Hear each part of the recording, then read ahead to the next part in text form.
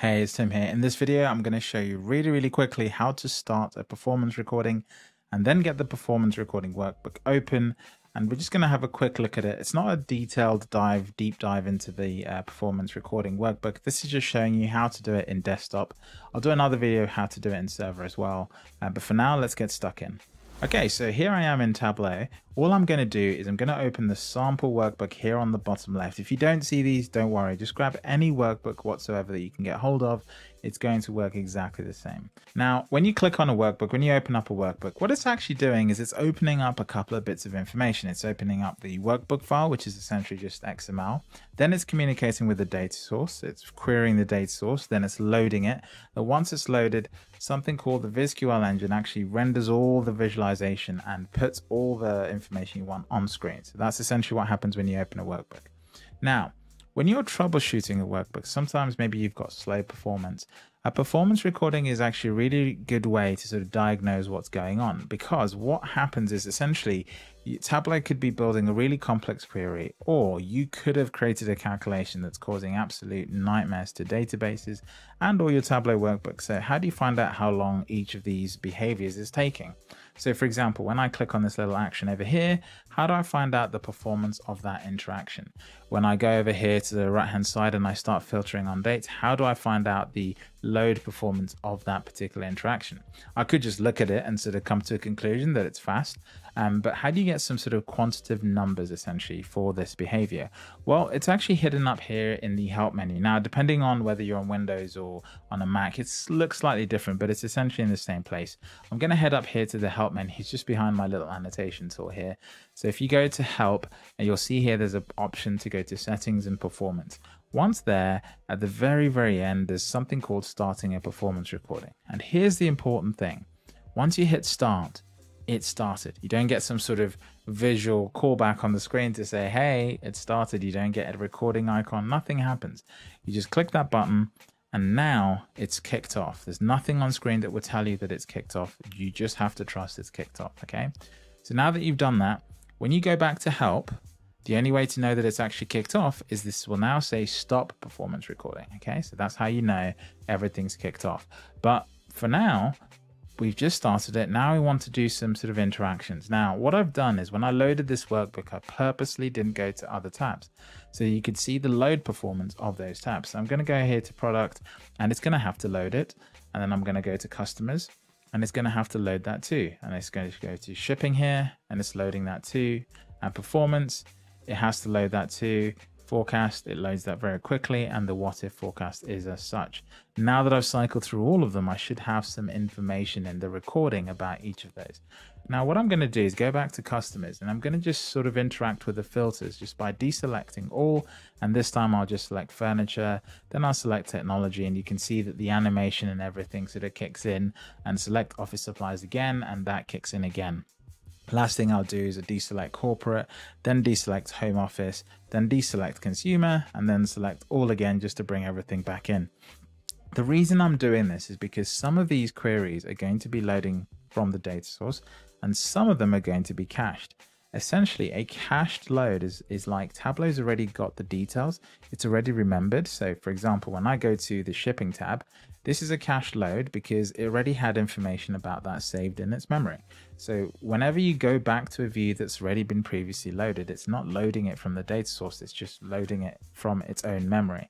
And now that we've done that, we go to help, we go to settings and performance, and then we hit stop performance recording. And when you do that, nothing will happen immediately, but just trust that Tableau will eventually open a workbook. If you've got a slow computer, this will take a while depending on how big your performance query was. But here we are, we've got the performance recording ready to go. And what you can see is you get this sort of, it's it's not a greatly designed workbook, but it's actually pretty good. What you can tend to do is sort of take this information out and do your own thing with it. So just stop this looking confusing. What I'm going to do, I'm just going to close the actual one that I was using for my performance recording and make this large. Now, something people often don't realize is that this filter here at the top is set sometimes all the way over here. It's not always set exactly to the far left. And the reason that is, is because some interactions are so fast, they don't even sort of clock any time. So you'll see here that they set it to just 0.01 like that. And you can actually see the number of things that come in disappear. So those are things that sort of sort of don't matter. But if you want to see everything, just slide that to the left, and you can see this list of activities uh, gets a lot longer. Um, now, as we scroll down, you can actually see the things that took the longest. So connecting to the data source uh, took 0.62 seconds. That was actually the longest activity. Rendering the visualization was the next sort of uh, you know most sort of intensive tasks. And then as I scroll down, what you're typically actually analyzing is the query performance. So if I was to just go in here and select query performance, and uh, let's just say keep only and see if this applies um, to the whole web. But unfortunately, it doesn't filter the.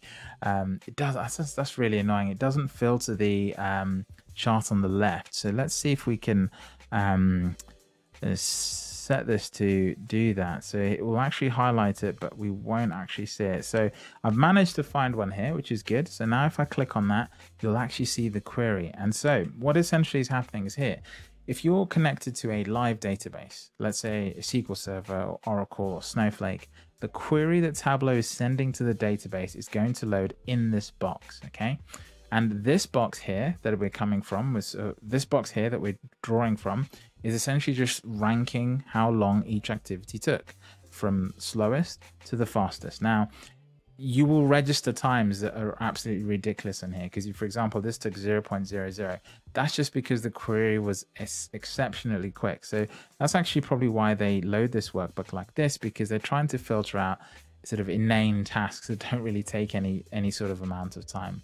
So Now, this detailed view is actually quite a nice new addition.